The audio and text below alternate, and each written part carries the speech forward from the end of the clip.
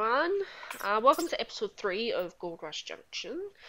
Um, this episode, from where we left off last time, I had built the teacups um, and the dodgems and a little food area. Um, I did make some changes off camera um, just because I really wasn't happy with what I had done and it looks a lot better now. I it, it was really tedious, just didn't look great at all. So I decided to get rid of it and built something else in its place. Um, so yeah, so in this episode we'll just we're gonna build two rides. Um, and it's not really a long episode um, at all. I managed to cut down an hour and a half's worth of footage down to about 15 minutes. So um, we'll just go through here, um, building a, a build a, a ride skin, um, which is starting now for the Sky Ace.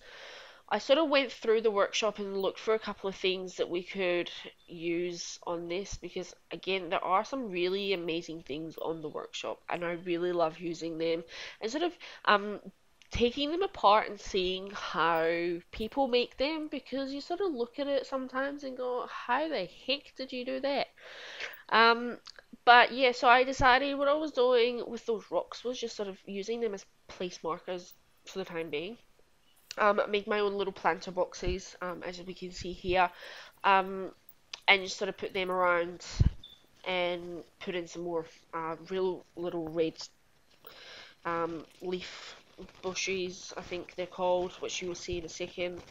Um, and just sort of kept it simple. Um, I did change the colour of some of the trees to green because I just didn't want the orange to be too overwhelming.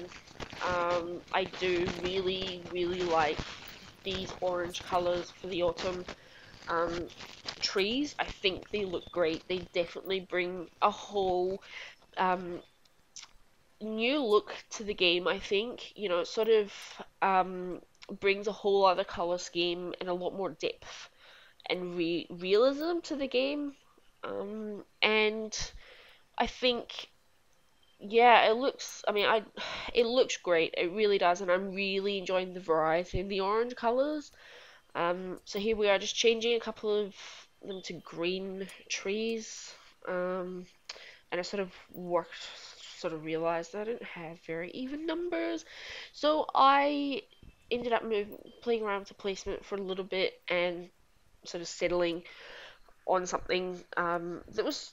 I think they ended up being pretty even um, in the end. So, and um, yeah, so I ended up uh, um, being pretty happy with how it turned out. I didn't really have an idea of what I was going for when I started it, and a lot of the time that's what happens with me. I just sort of start building and don't really have an idea of how I came up with some things. Um, so what I'm doing here is um, just I'm I'm making sort of a an outer rim to the Sky Ace, um, and I just put some little plants. It was a little bit fiddly to start with, but I got the hang of it after I'd finished the fifth one.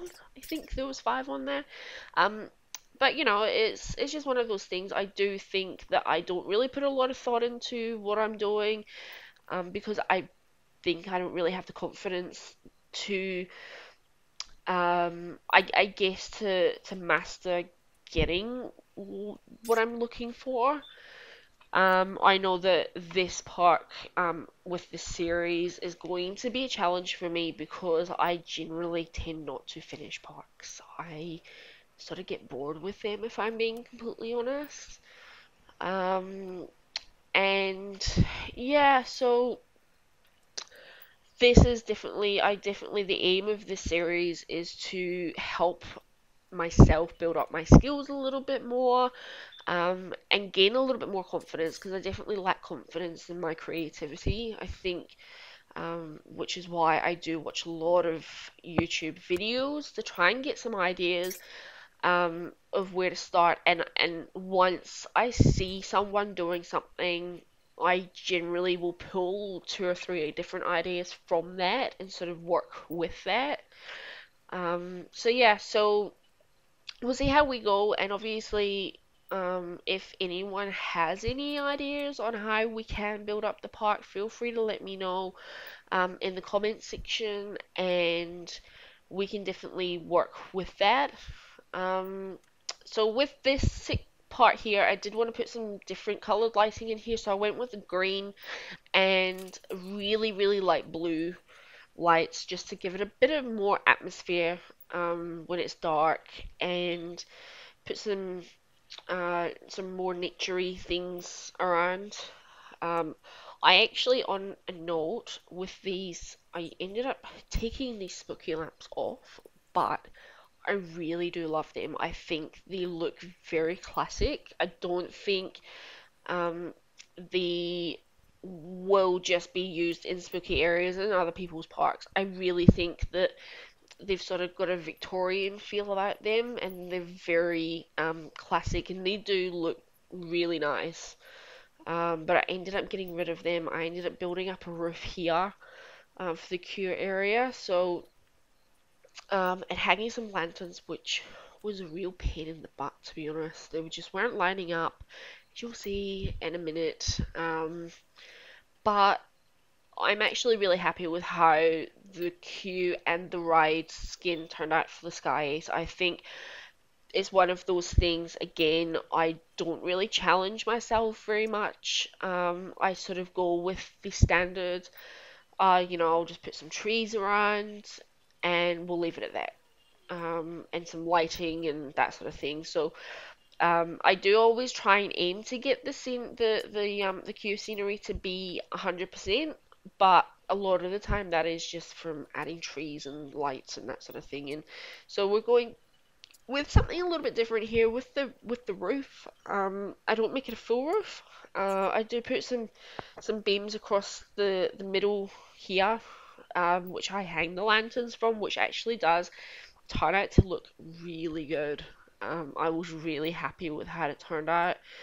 Um, so I, I guess I'm gonna go and try with this part, try and do something similar um, with a few of the rides. And this is one thing as well, while I just watched myself duplicating and shifting things across there is what I learned from watching other people is that the way that they build things so that it doesn't get too tedious is to duplicate because it can get very frustrating when you're trying to build the same thing a hundred times over and it's not working. So if you can get it right once and duplicate it, great. So that's sort of what I'm trying to teach myself to go with. Um, and yeah, it's taking a it did take me really long time actually to get used to the controls on Planet Coaster, um, and just how things worked in general. Um, because I think it works great now that I understand it, and it did take me a couple of months from when I did start playing it. From I think I started playing during beta, um, the beta release. I don't think, and, and I think I, um, it took me definitely about two or three months to get used to it, and I was getting frustrated. But the funny thing was, I didn't give up because I just loved this game right from the start. And I love the detail. I love what you can do with it, just the freedom that we have to be able to get creative and just basically make make it look like an actual real theme park. You know, like that's the thing that I sort of never really got used to with um, Roller Coaster Tycoon 3 was the one that I played the most. I didn't really do the queues and that sort of thing. I didn't decorate them. Um, I sort of was more decorating with trees and that sort of thing. So again, this is fairly new to me, but I'm really enjoying having that freedom to be able to build what I want pretty much. Um, so here, what I was doing was just sort of giving the path, I guess, a different, um, a, a little bit of variety. So um, I have since changed this archway a little bit. I think I, I think I did. I think I changed it to a rock terrain, but I didn't on this video, so um, it does look a little bit better. I mean, I've just put a little cowboy guy up there just to sort of keep try and keep in with the western theme.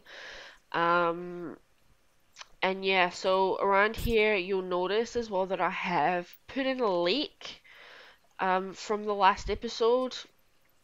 Um, so here I'm just sort of building up a little bit on the outside with rocks and bushes and trying to make it look a little bit better rather than just having plain green grass on the side. Um, and I think that's the, the the thing that I really enjoy doing is is is trying to fill up all the space that sort of becomes available when you do place rides and paths and stuff and you know they don't always sort of fit together um, as perfectly but that's the I guess the great thing about having so many na- nature scenery items is that we can fill those sections up and I really enjoy working with the plants and the foliage and the rocks together and I think it looks it, it, I mean, it can look a little bit over the top and sort of um, obviously placed um, to look a certain way,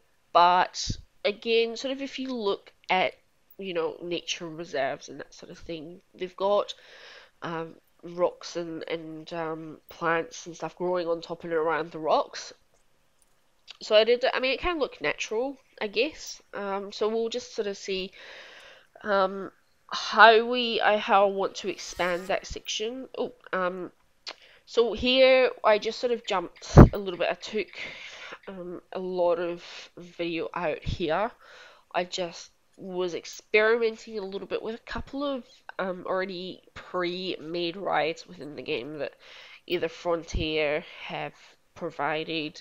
Um, they're already um, they're already sort of decorated um, and a couple that weren't so, so decorated. They just didn't work out. I came across this one. I'm not sure if this is Frontier made or if this is from the workshop, but um, I'm not 100% happy with it. Obviously, I mean, it's it, it, it is amazing. I mean, someone would have taken hours putting this together. Um, but it wasn't really what I was expecting it to be when I placed it in. I didn't actually realize that it was just pretty much a flat track ride. I didn't. I thought it was a proper log flume with a few, um, you know, um, hills and drops, but it's not. So I might actually, I probably will end up getting rid of it. Um, and maybe on the next episode we might um, have a look at um, building a log flume or a you know a rapids um, on my own and just trying to work with that and decorating that. So that might be what we do on the next episode or maybe the episode after that. Um, but I, again, I just wanted to pop that in for now just to give a little bit more variety for the peeps who are already in the park. Um, I didn't want we just, you know, three flat rides to keep them entertained and whatnot while I'm trying to focus on scenery and detail. And I mean, attention to detail is great, and I really that's the thing. My OCD totally goes crazy sometimes with this game, um, especially with the path system. And we can see here the entrance um, path to this log flume is really not great, and I did end up changing it. Um, I managed to flatten it out a little bit more and I put some more rocks and foliage and stuff in there to um, to sort of um, sort of keep I, I, I guess um, so here we go so I'm just sort of changing that up a little bit um, and it does end up being a lot better just a little bit smoother um, and just better to look at I guess. So we'll I think here we're just going to fill up some some rock detail again. I actually really love these rocks. I think you know they all look. You can turn it you know a hundred different ways, and the same rock can all look different. And even when you place them together, they sort of smooth in together um, to make look like one giant rock, I guess. Um, but I really love how real they look. But they they kind of do have that um, that look to them that you get in a theme park where you can sort of look at rocks and say, yeah, no, they're not real, they're plastic. So they kind of do have that look to them, but at the same time, they do actually look real. Um, and again, I think another reason why I'm going to get rid of this ride is because those rocks, those red ones, there's just far too many of them. And you know, props to the person who made this ride because it does, it would have taken a lot of time and, this person obviously had a lot more patience than what I do, so but it's just not what I was looking for in this park at this time. I mean, I might actually keep the the actual ride itself and just get rid of the skin and make my own skin. Um, and we'll maybe move it to a different section of the park. Um, but yeah, so I'm going to cut to the live section now, um, and we'll take a little tour of what we've done. Um, so we will see you there. Hello everyone and welcome back to Gold Rush Junction. Um, here um, we're just going to do a little tour of what we've done um, on the previous um, speed build um, which you've just seen. Um, we'll go through and I will show you what we actually, what I did off camera after the last episode. So the front here I haven't changed anything in here. What I do actually know that I need to do is I need to put a little archway on here, so I might actually do that now before I forget. Um, apologies if the sound is really loud, I'm not sure. Um, if I don't think I've got it up that loud, it should actually be okay. Um, so I'm just going to, um, what is this? I think this is Dodgems. We don't have a sign for Dodgems, that's fine. I can make a sign for Dodgems. Um, so yeah, I um, will. This doesn't really fit in with what we're wanting to do. Um, I'll put that in there. Actually, maybe. No, I want to put one across the top. Uh, maybe not something as bright as that. That's okay. Can maybe I can change the color. Um, so yes. So what I did, and I think I explained it on the um this this speed build voiceover, was um during the um off camera section I did last night I changed a few things I had. Um, if I'm not sure if you remember before, um, the um, sorry, I'm just gonna turn the sound down on here because it's really loud. Um, I had this little food court section sort of over here, um, and it was raised on a platform, and it was really tedious, didn't really work, and it just looked god awful to be honest. So what I have done here is that's the exit the Dodgems. Sorry, just trying to.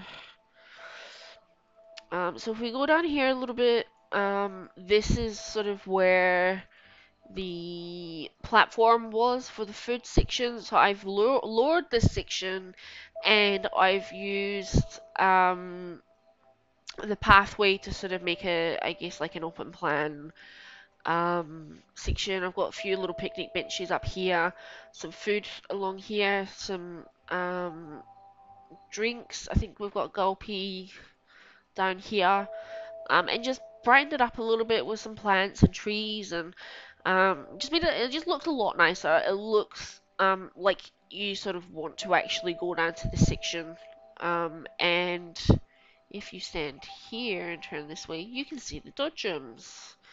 Um, so yeah, I actually am really happy with how this turned out. The one thing I'm not happy about with it is this steep slope here. It it turned out a lot steeper than what I was expecting, and it and I didn't actually realize how steep it was until I put the pathway in. Um, but that's fine. I try, I did try to make it a little bit better, but I ended up ruining this whole area here, so I decided just to keep it. So I'm just gonna have to put up with it. Otherwise, I can look later down the track when I have more time and patience to actually sit and try and work it out. But for now, I'll deal with it. Um, I was thinking what I might do as well at some point is um, build another little pathway through here to join onto this pathway here. Um, I'm thinking that might work a little bit better because the section's not really very busy um, just now. And I think because it is so close to the entrance, people are really looking for food at the moment. Um, so if I put the another second pathway here, people might start coming in from this side and buying food and making more money. So there we go.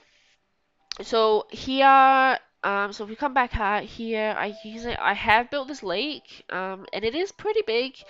Um, I am going to sort of decorate around the edges with rocks and foliage and that sort of stuff and make it look a bit better. But for now, um, that's probably an off-camera job to be honest because I'm pretty sure you guys do not want to sit and watch me putting rocks in place and trees in place for, you know, an hour because let's be honest, it's pretty boring. So anyway, so we have here the Sky Ace, which I, like I said, I actually am really very happy with how this queue turned out. Um, it looks nice. It looks oh it it really looks good when it's dark. Um, it sort of has that sort of atmosphere. Um, and yeah, it looks. I actually am really happy with it. It sort of still sticks in with the Western theme, with the wood and the, the um the tin roof. Um, and yeah, so here we've got the the planters, which I put in with the green lights and the blue lights and whatnot. Um, and this little archway here, I'm not really sure what I'm going to do with that. If I'm going to keep that, if I'm going to expand on it, I might lower this a little bit and make this sort of like a tunnel section maybe. Um, but yeah, so what we might do on the next episode is um, I've built the pathway here. Again, I might end up changing this, but maybe put in um, a smaller flat ride here, um, like maybe like the Gears of Fear or something. We can put in here another little thrill ride. Um, and maybe a couple of other smaller flat rides here and just sort of flesh it out a little bit. Um, maybe put a couple of drink stalls in here just to fill this section up. But again, I'm probably going to get rid of this ride. It looks great from up here, but when you come further down, it does look it doesn't look great. Um, and again, like I said, it's not really what I'm looking for in terms of a ride for this section. I was going to put a coaster in here, but I decided against it. And I'm not really good at building my own coasters, and I think I don't really understand the logistics of what has to happen to make a coaster good. Um, so I kind of gave up a long time ago on doing building my own coasters. But log flumes and rapids and that sort of stuff I can do. So I might replace this with a, a rapids or something like that. Um, but again, what we'll do is we'll probably start building the park um, sort of in here and sort of fill out this section here before we move on to this section of the park. Um, so yeah, I'm actually I'm really happy with how it's looking just now. So I will probably do a little bit more extra work off camera just to sort of fiddle around with the runs the lake and the pathways. I'm going to probably try and put a little fence up along the edge of the pathways. And again, that's sort of tedious stuff that no one really wants to watch. Um, but again, if anyone's got any ideas, please feel free to let me know in the comment section. Um, otherwise, if you like this video, give it a thumbs up um, and subscribe to my channel. And I will see you on the next episode.